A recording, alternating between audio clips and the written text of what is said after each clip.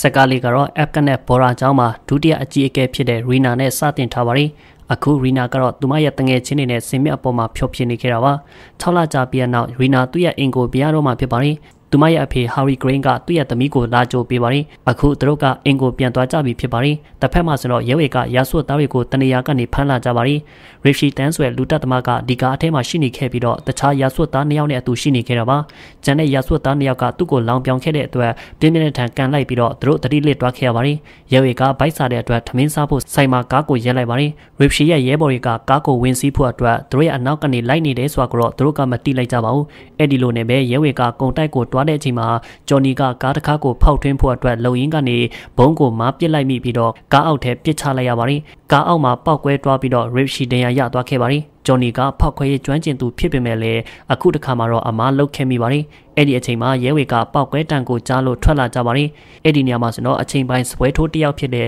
ပိုလီတန်ကန်စတာကလည်းအပြင်ကိုထွက်လာခဲ့ပြီးတော့ရဲဝေကိုပစ်ခတ်လိုက်ပါတယ်။ဒါပေမဲ့ကြီးစံတစ်ခုမှရဲဝေကိုမပြစ်နိုင်ခဲ့ပါဘူး အဲ့ဒီနောက်ជីជីနဲ့တက်တာဟောင်ကာဒက်တို့က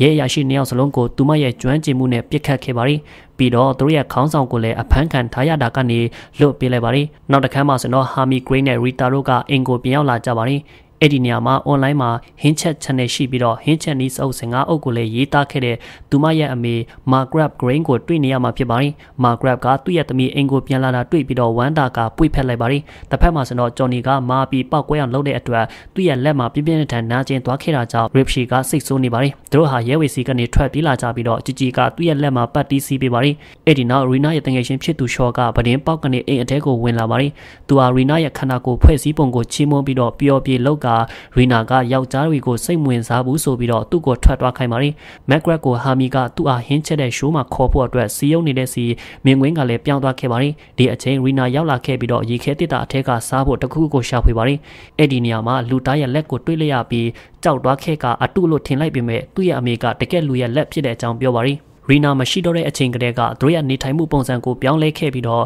လူတွေရဲ့အသားကိုစပြီးစားသုံးခဲ့ကြတာဖြစ်ပါတယ်။အဲ့ဒီနောက်မှာတော့ရီနာရဲ့အော်တန်ကိုကြားလိုက်ရပါတယ်။အဲ့ဒီနောက်မြင်ကွင်းကလည်းပြောင်းသွားခဲ့ရပြီးတော့ Ripchi ရဲ့ကိုင်းကသူတို့ကိုသူတို့ရဲတွေရဲ့ရဟရင်ကနေလွတ်မြောက်စေဖို့အတွက်ရီနာရဲ့ကားကိုယ်တော်အထက်ကိုဝင်လာလိုက်ကြပါတယ်။ជីជីဟာကားပေါ်ကဆင်းလာလိုက်ပြီးတော့မျက်တောင်မခတ်ပဲကြည့်နေခဲ့တဲ့ရီနာရဲ့မျက်နှာကိုရိုက်လိုက်ပါတယ်။ပြီးတော့သူတို့ကဒီအိမ်ရဲ့ပိုင်ရှင်အစ်စ်ပဲလို့ပြောပြီးသူတို့ရဲ့အမိန့်ကိုနာခံရမယ်လို့ပြောပါတယ်။ သူတို့ကိုဒက်စကန်အဖြစ်ဖမ်းထားခဲ့တာဖြစ်ပါတယ်။တနတ်နဲ့ချိန်ကဆိုဖာပေါ်မှာထိုင်ခိုင်းလိုက်ကြပါတယ်။ဂျော်နီကရစ်ရှီရဲ့လက်ကိုစီးထည့်ပေးနေခဲ့ပါတယ်။ဂျီဂျီနဲ့ပေါ်လီတန်တို့ကအိမ်အထဲမှာတခြားသူရှိမရှိစစ်ဆေးဖို့တွားလိုက်ကြပါတယ်။မာဂရက်ကတော့ဘယ်သူမှမရှိဘူးလို့ယုံအောင်ပြောနေခဲ့ပေမဲ့မယုံကြည်ခဲ့ပေမဲ့သူတို့ကိုယ်တိုင်တွားကြည့်ပါတယ်။ရီနာကသူ့ရဲ့အဖေကိုရေခဲတစ်တာအထက်ကလက်အကြောင်းမိခဲ့ပေမဲ့အဲ့ဒီအကြောင်းကိုပြောဖို့အတွက်အချိန်မတန်သေးဘူးလို့ပြောပါတယ်။အဲ့ဒီနောက်အင်ကိုရှာဖွေနေခဲ့တဲ့ဂျီဂျီနဲ့ပေါ်လီတန်စီကိုမြင်ကွင်းကလည်းပြောင်းသွားခဲ့ပါပြီ။အဲ့ဒီအချိန်ပေါ်လီတန်ကဈေးသုံးဖို့အတွက်လုပ်နေခဲ့ပြီးတော့ជីជីကလည်းယောက်ျားလေးအတုံးအဆောင်တွေရှိတဲ့အခန်းကိုတွေ့တော့ပါတယ်။ជីជីဟာသူတို့စီကိုပြန်လာခဲ့ပြီးတော့ကောင်လေးမရှိဘူးလို့လိန်ပြောတဲ့အတွက်ရဲရဲရင်ဆိုင်နဲ့မေးလိုက်ပါတယ်။ဒါပေမဲ့လည်းမာဂရက်က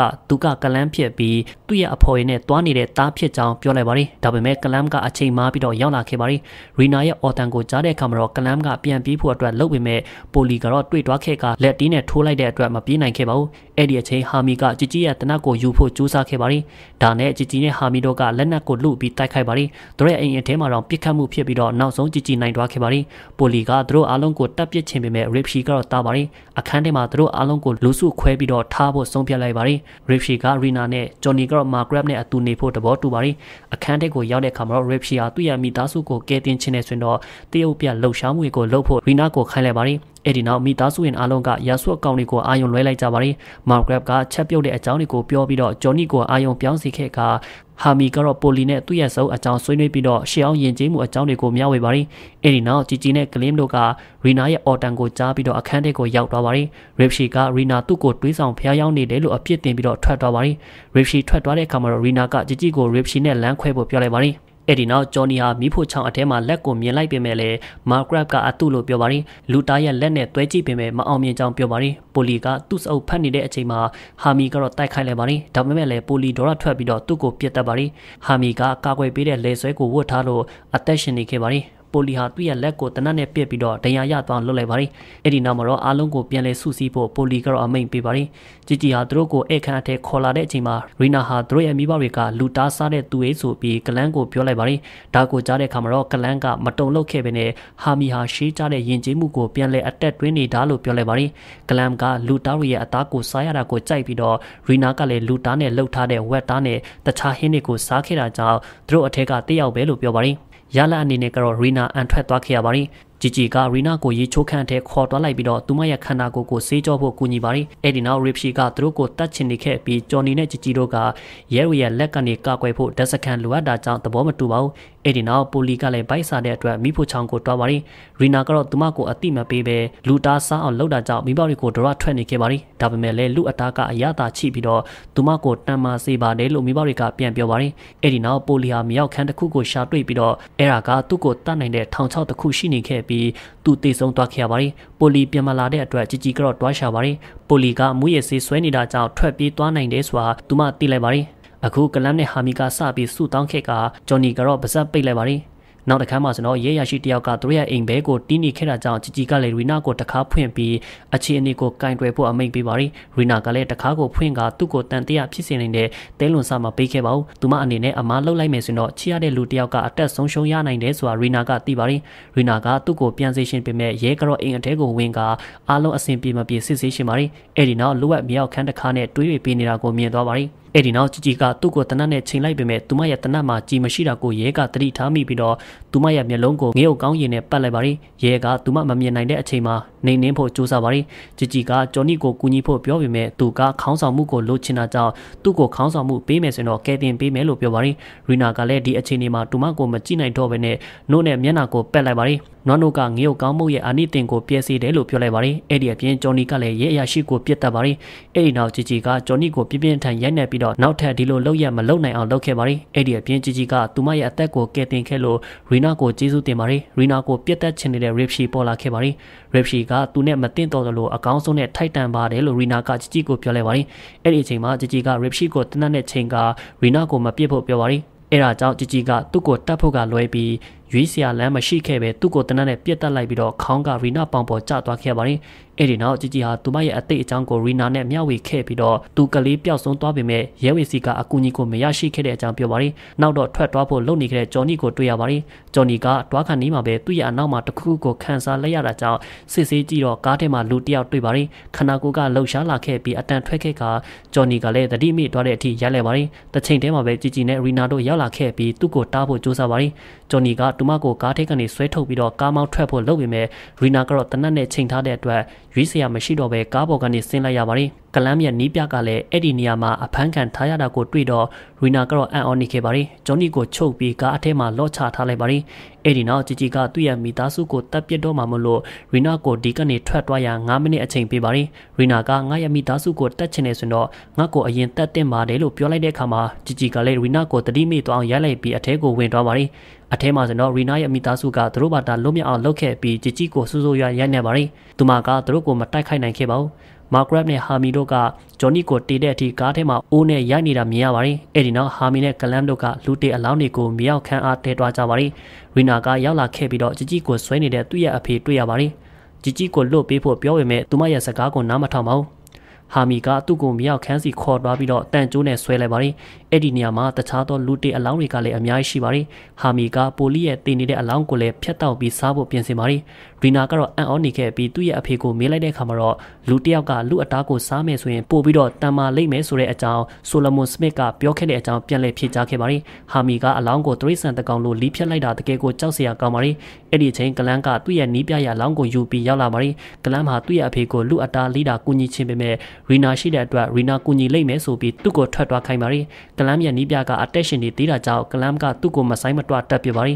မိသားစုရဲ့အားလုံးညစာစားနေကြတဲ့ထမင်းစားပွဲကိုတွေ့ရမှာဖြစ်ပါရီအဲ့ဒီအချိန်တခါပဲမြေလာခဲ့တဲ့အတွက်ရီနာကဘယ်တူလဲဆိုတာကိုတွားကြည့်ပြီးသူ့ရဲ့တငယ်ချင်းရှော့ဖြစ်နေတဲ့အတွက်ဒီကနေထွက်သွားဖို့အဆက်မပြတ်ပြောပါတယ်ဒါပေမဲ့သူကမတွားရှင်ခဲ့ပဲအထဲဝင်ဖို့အတွက်ခေါ်နေခဲ့တဲ့သူ့ရဲ့အဖေစီတွားတွေ့ဖို့ဆုံးဖြတ်ပါတယ်ဟာမီကသူ့ကိုညစာစားဖို့ပြောပေမဲ့သူကတော့တက်တက်လွတ်တမဖြစ်ပါတယ်ဒါပေမဲ့အလုံးကအတင်းအကျပ်ပြောခဲ့တဲ့အခါမှာတော့စားဖို့အတွက်ဆုံးဖြတ်ပါတယ်ဆန့်ကျင်ဘက်အနေနဲ့ရီနာကတော့သူ့ကိုမစားဖို့ပြောနေပေမဲ့သူကတော့နားမထောင်ပဲတကိုက်ကိုက်လိုက်ပါတယ်ပကံပြားပေါ်မှာနေရတစ်ခုကလေးတွေ့လိုက်ရပြီးတော့ဟာမီက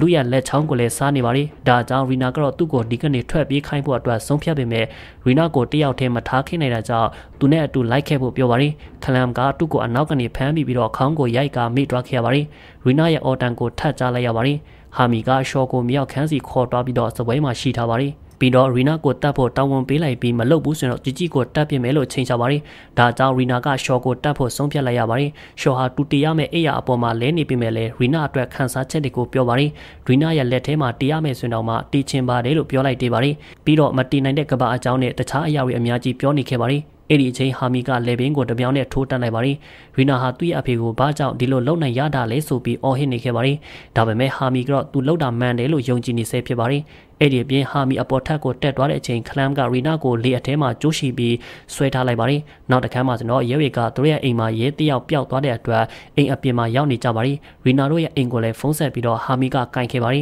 ဟာမီကရာဆွတ်သားဖြစ်လာပြီးရဟယန်တစီတောင်းဆိုပါရီသူကထပ်တောင်းဆိုပေမဲ့လည်းရဲဝေကသူ့ရဲ့တောင်းဆိုချက်ကိုငြင်းပါရီရစ်ပရိုဟိတ်နဲ့စကားပြောတဲ့အမှုအကျင့်မရှိတဲ့အတွက်ရဲဝေကိုသူကစိတ်ဆိုးပါရီဟာမီကသူ့ကိုယ်သူရစ်ပရိုဟိတ်လို့သတ်မှတ်ထားတာဖြစ်ပါရီမာဂရက်ကတော့သူ့ကြောင့်ဒါဝိဖြစ်ပျက်ခဲ့တာဆိုပြီးဒေါရထွက်နေခဲ့ပါရီအခုကလမ်ကလူသားကိုဖျက်တောက်ရတာပြောနေခဲ့ပြီးတော့တချင်းနားထောင်ကအလုံများနေခဲ့ပါပြီရီနာနဲ့ဂျီဂျီတို့ကိုလည်းအကြောင်းတစ်ခုနဲ့ကြိုးပြပေးလိုက်ပါရီရီနာကခလမ်ကိုမားနေတဲ့အကြောင်းစီယုံဖို့စူးစမ်းပေမဲ့သူ့ရဲ့စကားကိုနားမထောင်ပဲထွက်သွားပါရီဂျီဂျီကသူ့ရဲ့အကိုနဲ့အမေကိုဒုက္ခမပေးဘူးလို့ကတိပေးခဲ့ပေမဲ့သူ့ရဲ့အဖေကိုတော့အာမမခံပါဘူးနောက်တစ်ခါမှဆိုတော့ဟာမီနဲ့မာဂရက်တို့တယောက်ကိုတယောက်ပြစ်ပေါက်နေတာတွေ့ရပါရီအဲ့ဒီအချိန်ခလမ်ကရောက်လာခဲ့ပြီးဟာမီဟာသူ့စီပြေးသွားပါရီ ဟာမီကသူ့ရဲ့အဖေအတွက်အသက်ကိုစသေးနိုင်သလားလို့မေးလိုက်တဲ့အခါမှာတော့ခလမ်ကလည်းလက်ခံတဲ့တုံ့ပြန်ချက်ပေးပါတယ်ဒါနဲ့ပဲဟာမီကသူ့ရဲ့ရင်ဘတ်ကိုဓာတ်နဲ့ထိုးကသူ့သားရဲ့နှလုံးကိုထုတ်ယူစားလိုက်ပါတယ်ပြီးတော့သူကမတည်နိုင်တဲ့လူတစ်ဝက်ဖြစ်သွားပြီလို့လည်းပြောပါတယ်မာဂရက်ကတားဖြစ်သူတည်သွားတာအတွက်ငိုကြွေးနေခဲ့ပြီးတော့သူ့ကိုလည်းမကောင်းဆိုးလို့ခေါ်ပါတယ်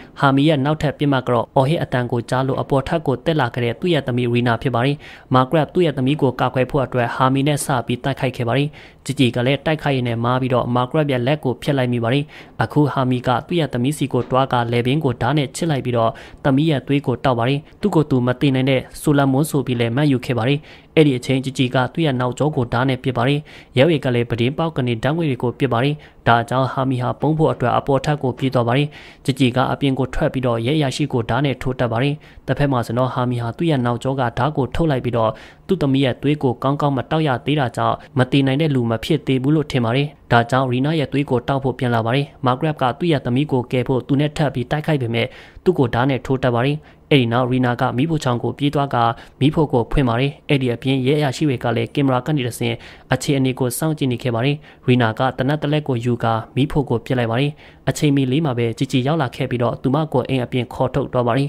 ။ရီနာရဲ့အိမ်ကတော့စိုးစိုးရွာပောက်ကွဲသွားခဲ့ရပြီးအားလုံးတီကုန်ကြပါတယ်။ နောက်တနေ့မှာဆိုတော့ရီနာကသူမရဲ့အိမ်ကိုပြန်သွားကြည့်ခဲ့ပါတယ်။အိမ်အပြက်အစည်းဝေးကြားတဲ့ကတငယ်ချင်းရဲ့ဆွဲကြိုးကိုတွေးလိုက်ရပြီးတော့ရီနာကယူဖို့လှုပ်လိုက်တဲ့အချိန်မှာဟာမီရဲ့လက်ကထွက်လာခဲ့ပြီးတော့လမ်းဆွဲပါတယ်ဆိုလိုတာကတော့ဟာမီကမတည်နိုင်တဲ့လူဖြစ်သွားတယ်လို့ယူဆရတာဖြစ်ပါတယ်ဆက်ကားကလည်းဒီမှာပဲအဆုံးသတ်သွားခဲ့ပါတယ်ကြည့်ရှုပေးကြပရိသတ်များအားလုံးကျေးဇူးအထူးတင်ရှိပါခင်ဗျာ